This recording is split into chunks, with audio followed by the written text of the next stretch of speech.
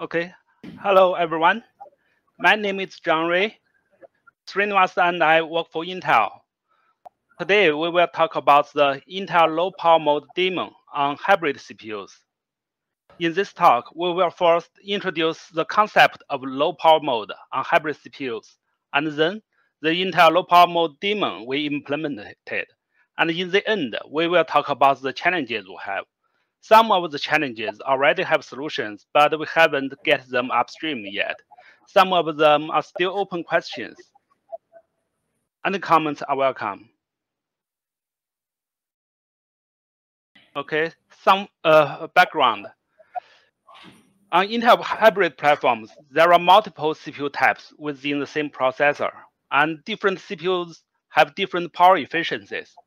So in some scenarios, if we, we, if we run tasks on the set of most power efficient CPUs only and leave the other CPUs idle, power save can be achieved. This is what we call low power mode in this talk. On Intel hybrid platforms like Alder Lake and Lake, these CPUs can be eCore CPUs. And on Intel's latest hybrid platform named Meteor Lake, we can even get non-linear power saving because of its hardware design. So let's go to next slide. Okay.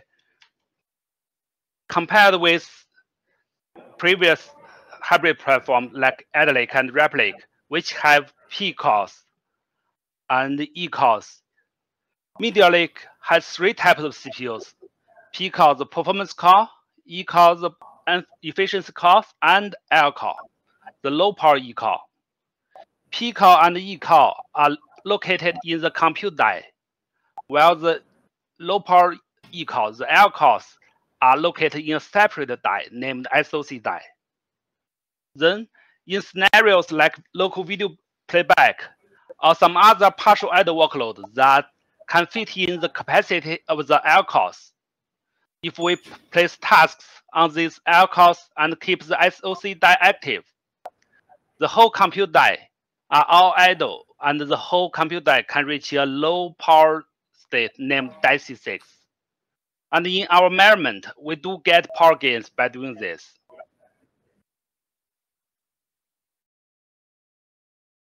For this purpose, we implemented a user space tool named Intel Low Power.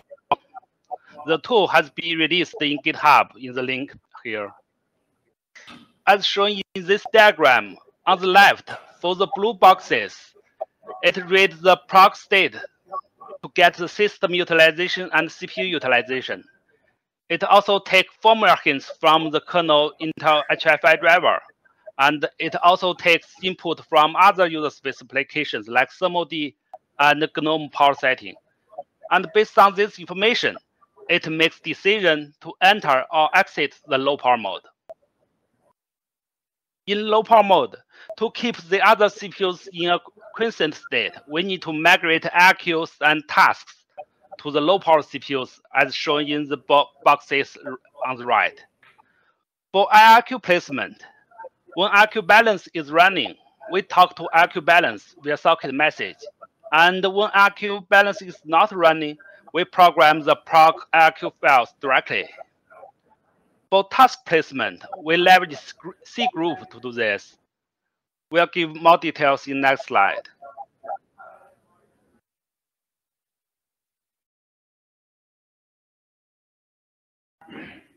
Yeah, as we know, C group CPU set controller allows restricting tasks to certain CPUs. In Intel low power mode daemon, we support two different solutions. The first one is to change the C system D C group CPU sets to lower uh, to low power CPUs. This helps running the, uh, restricting the user space tasks running on these CPUs.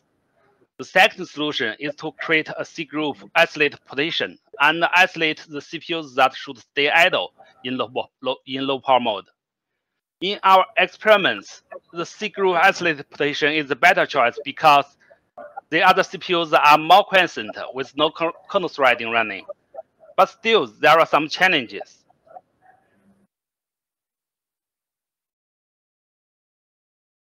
Okay, the first problem we found is that When in low power mode, the isolated CPUs are idle. But scheduler still treats these CPUs as ordinary idle CPUs and use them for idle load balance. This is a waste of power because the isolated CPUs are detached from any sched domains. So they are just wake up from idle, find nothing to do, and go to idle again. In our experiments, we see that the isolated CPUs are woke up around 3,000 times in a 60 seconds run. I have posted a simple fix, simple patch to fix this. The idea is that when do idle load balance, ignore any CPUs with no sched domain attached. Uh, which and this this covers the CPUs in isolated uh, isolated partition case. So the, currently uh, there are some discussions about this patch, but we haven't pushed this to upstream yet. The second problem is that we do observe some unbound work queues run on CPUs in isolated partition. And good news is that I happened to find a patch set from Waiman Long when I was writing this slide. It seems to address exactly the same issue. I have just confirmed that the problem is gone with this patch set on top of latest upstream kernel. The third problem is that Srinivas uh, observed that timers fail on CPUs in the isolated partition. And for this issue, the timer patch series from Anna helps because the timer can be pulled by the low power CPUs then. Besides the challenges we had with C group isolated partition, there is another problem. Intel low power daemon detects the low power CPUs automatically. Say it chooses four E-cores in one E-core module on Alder on, and on uh, Lake. But on Meteor Lake, we have troubles detecting the L-cores. As shown in this uh, in the slide, yes, as shown in this slide, the most straightforward way to detect the L-cores is to check the cache topology because L-core does not have L3. However, current kernel cannot handle asymmetric cache topology, and the cache sysfs is missing on Meteor Lake. Ricardo has a patch theory to fix this, but this has not been upstream yet.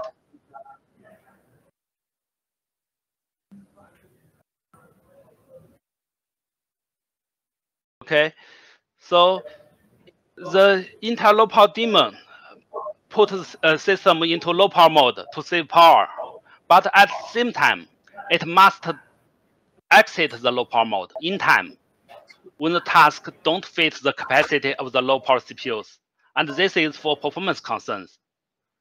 So response time is also critical. The fourth challenge is that as we monitor the system and CPU utilization to make the enter and exit low power mode decisions, this is, the, this is done by polling the proc stat. There are some firmware hints, but they are mostly tuned for Windows. So we are wondering if it's reason, reasonable to have something like utilization threshold and deliver an event to user space when the utilization is changed. The second problem is that for IRQ placement, talking with IRQ balance via socket message takes time. It may even take hundreds of milliseconds to finish, longer than everything else we do during this low power mode state transition. And when IRQ balance is not running, we need to handle a large number of IRQ procfs entries, and this also takes time. So we are thinking if there is a smart way, a smart way to do this. Say, is it possible for C group isolate partition handle IRQs at the same time? Yeah, this uh, this is a uh, this is the main uh, slides I'd like to talk today. There are some backup slides, but uh, I won't talk about them given the limited time. Yeah, and questions? Vincent?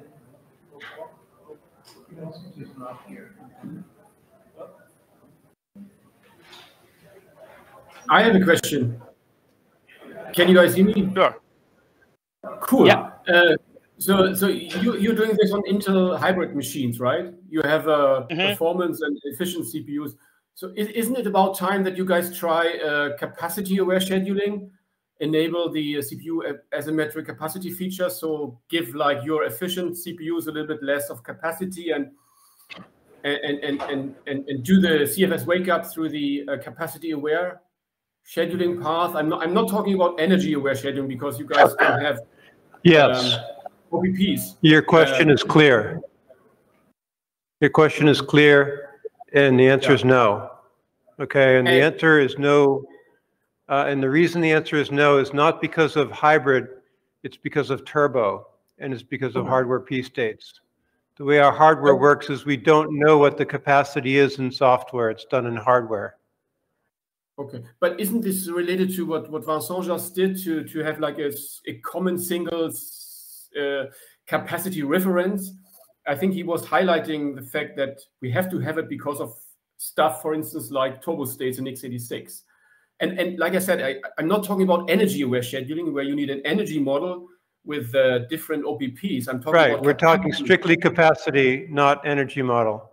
Exactly. Uh, Energy model is a whole nother disaster, right? True. The first disaster is capacity, and, and it's more important. Okay. Um, so, say on Alder Lake, uh, which is shipping today, we get Alder Lakes with the max guaranteed frequency is 800 megahertz, and the max turbo frequency is 5 gigahertz. So you can know your capacity is 800 megahertz, but it might be 5 gigahertz. That's a big difference. Um, And and the only way we can really know what the capacity is is if we measure it at runtime and we run out of capacity. So you could say, hey, great, at this moment, I've got no idle time. I'm running at two gigahertz. So my capacity is two gigahertz. But milliseconds after that, or even microseconds, it could be something completely different. And it's not up to that CPU, it's up to a microcontroller, which is which is marshaling the resources that are available to all the processors in the package. And it happens too fast for the software to track. this is That's why we have a really difficult time Okay. with Linux's concept of CPU capacity uh, on our hardware. Okay. It, it's it's related also to Turbo Turbo 3, where you when you run on Turbo level, then you only some of the CPU can run, or only one CPU can run.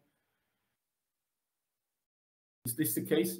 And, because this is also would also not work then. So there's there's five things that govern the frequency of a Intel processor and how much frequency you get.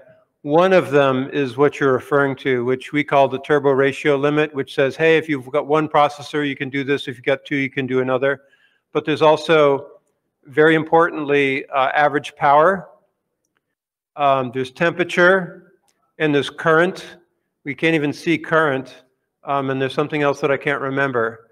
And, you know, we have at best only one of, a handle on only one of the, on only one of them. We don't have the other four. Yeah, uh, uh, anyway, so we, we ran out of time for this topic and. Good uh, question, though. But, but, the- yeah, it's a good question and, and we can, we can, uh, talk about it, uh, you know, uh, later, uh, or discuss it in, by email. Uh, so we need to switch over to the next topic now. Thank you, thank you, Ori. Uh, thanks for the discussion.